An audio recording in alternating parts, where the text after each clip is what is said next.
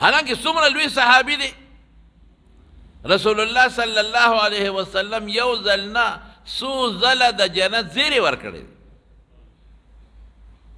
د احد په غر باندې حضور پاک مبارک ولاړو صحابه وسره دي څوک دی وسره ابوبکر صدیق او عمر فاروق او حضرت عثمان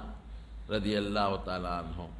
او دې کې زلدله رااله نو حضور پاک دا پوند او چته کړه او دې غر لهره وبروله داسې اسکن احد غلی شه احده ته خبرې په تا څوک ولاړ دي انما علیک نبی یو در باندې پیغمبر ولاړ دی و صدیق یو ابوبکر ګوره صدیق وته وایي دا ډېر لویه خبره ده صدیق ابوبکر در باندې ولاړ و شهیدان دو در باندې جمدي شهیدان ولاړ دي یو ابو یو حضرت عثمان ته اشاره وا او یو حضرت عمر ته اشاره وا دا پیشنګوئی وا او مکه حضرت عمر فاروق رضی الله عنه په مدینه منوره کې په جمعات کې شهید شو په تپا دغه چوو په چاړه باندې دوه مخې دي چاړه او حضرت عثمان رضی الله عنه په خپل کور کې د قران تلاوت ته ناشته او باغیان په ورل او د قران د شریف د پاسه شهید نو پیغمبر مبارک وته شهید ویلې دي او په جمدونه وته شهید ویلې دي یو صحابي وای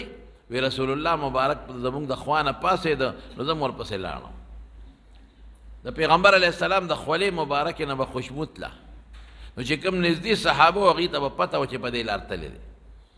ورپسې لاړم نو یو باغ کې دننه حضور پاک مبارک ناست وی ما وی چې راشه نن د پیغمبر علی السلام د څوکیدارۍ سعادت حاصل کا نو ودرېدم په دروازه کې وی دې کې یو سړی راغی دروازه واله وی ما ورته علارستک په قلار شي اجازه ته لغواړم استاذن لکه وی لاړم رسول الله مبارک نه مې اجازت وغوښت چې الله رسوله څوک یې وی ابوبکر یم ما وی د الله رسول ابوبکر صدیق ته اجازت غواړي وی اجازت هم ورکه او د جنت زیر هم ورکه دې کې حضرت ابوبکر صدیق راننوت ما اجازت ورکه او د جنت زیر مې ورکه نو د حضور پاک سره د کوی غاړه لکه جور زیو په هغې کې کېناست قف ورته وایي په عربۍ کې وی لک سات پس بیا دروازه وډبه ده وی مې الارستک په قلار شه سوکې وی عثمان مې اجازه د لغوانم نه عمر ما مې اجازه د لغوانم وی رالم رسول الله مبارک ته چې د الله رسول عمر راغلی دی اجازه غواړي وی اجازه تم ورکو د جنت زیر مولا ورکو ما اجازت هم ورکړه او د جنت زیری مې هم ورکړ هغه هم راغی د رسول الله مبارک په خوا کې د کوی په غاړه باندې کېناسته حضور پاک هم خپې مبارکې کوی ته ځوړندې کړې دی او دوی هم دواړه هم خپې کوی ته ځوړندې کړې څه مبارک صحابه د پیغمبر مبارک خوا کې نږدې وی لږ ساعت پس بیا دروازه وډبېدله ما وی څوکې وی عثمان مې علارستک په قلار شه اجازت دله غواړم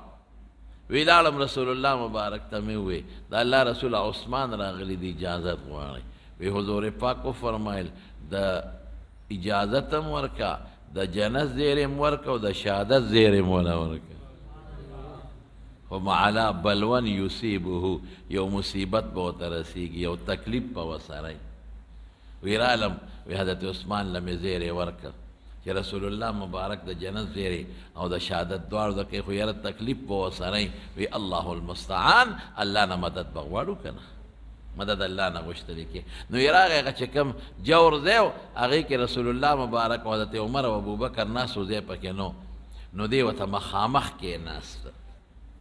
د کوی بالکل مخامخ نو د حدیث راوی وای وای مې خپل د دین یو اندازه واغښتا چې حضور پاک سره دا دواړه په یو ځای کې کېناستل د دې دواړو قبرونو به نبی علیہ السلام سره یو ځای وي عثمان رضی الله عنه بل زینو مخامخ کېناست نو دی به ته مخامخ په بقی کې دفن کېږي دومره مبارک صحابي او د رسول الله مبارک یو لور هغه په واده وه چې هغه وفات شو بل لور یې ورغه ورکړه چې هغه بله وفات شوه وی ارمان که زما درېیمه لور وی امه مې هم عثمان له ورکړی وی دونه یې خوښ او د تبوک په غذا کې بلا سامان راوړه حضور پاک ته پیش کړ یاره داسې انعام یې ولا ورکه حضور پاک چې دا ډېر زبردست انعام دی وی عثمانه وی ته چې د نن نه پس څه عمل کې کوه پتا اسم نشته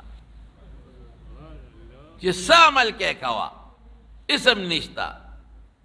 دا څومره لویه خبره ده مونږ خو یریږو او یو ځل حضور پاک داسې ډډه والې و ناستو خپې مبارکې خورې وې او په دې لاندې خپو یې صادر نو حضرت ابوبکر صدیق رضی الله عنه راغی هغوی مقصې ناستو بیا حضرت عمر فاروق رضی الله عنه راغی هغوی مغصې ناستو بیا حضرت عثمان رضی الله عنه راغی چې راغی نو حضور پاک نیخ کېناست او اخپو باندې زر صادر خور نو حضرت عمر رضی الله عنه لږ جذباتي و هغه د الله رسول ابو بکر راغی تاسو مغه ډډه والي و زر عالم مغه سم ډډه والي و او چې عثمان راغلی نو زر کېناسته اولاد نیم پخپو صادر خور کو دا ولې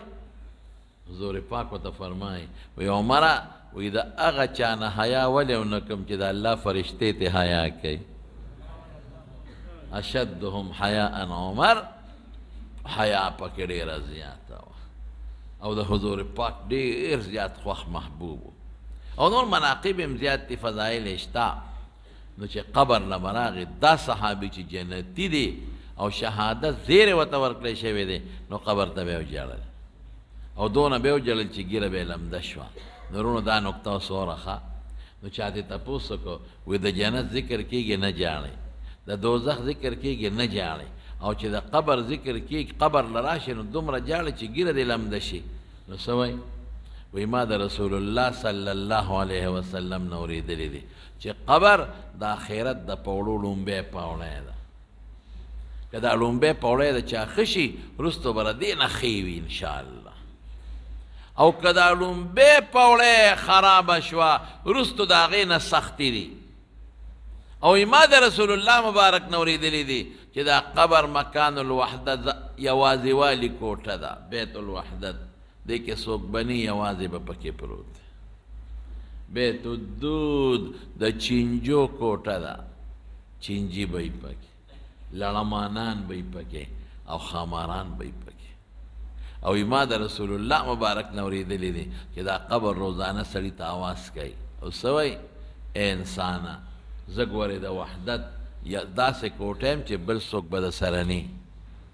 یوازې به ماله راځې ځان سره د نیک عمل مرګرې راوله زه د چینجو لړمانانو خامارانو جالی ما ځان سره د دې دارو راوړه دارو راوړه ځان سره او زه د تیارې کوټه هم ځان سره د ایمان رڼا راوړه ګوره نو قبر دونه خطرناک شی دی چې حضرت عثمان صاحب ته ایا حضور پاک به مقبرې ته ته د بقیع مقبرې ته به رسول الله مبارک ته د شپې به کله کله ته د بقیع مقبرې ته